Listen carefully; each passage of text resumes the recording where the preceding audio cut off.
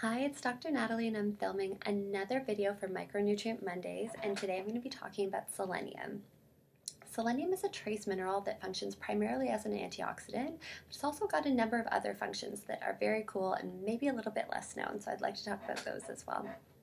Selenium helps to protect us, protect us against the effects of heavy metals, so things like mercury, cadmium, and arsenic. These are things that we're ingesting in our diet or acquiring from our environment.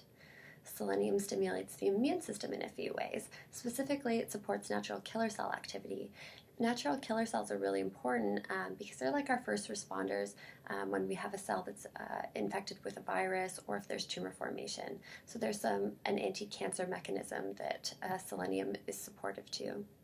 There was also a very recent study that showed that daily selenium supplementation significantly reduced the decline of CD4 counts in HIV patients, so further supporting the integral role that selenium plays in the immune system.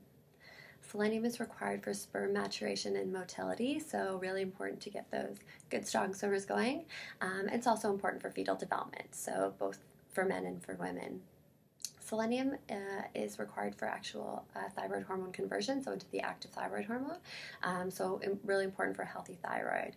A thyroid hormone acts on nearly every cell in our body, so really important to to support our thyroid. Having low levels of selenium has been um, connected to an increased risk of certain diseases like cancer, cardiovascular disease, and inflammatory disease.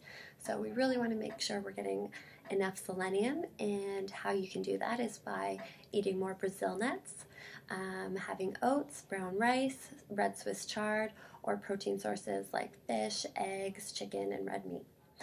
So I hope you learned something about selenium. Thank you so much for listening. Um, if you'd like to reach me, you can do so from my website at www.healthandthecity.com um, or you can email me at drnatalieboz at gmail.com. Thank you so much. Take care.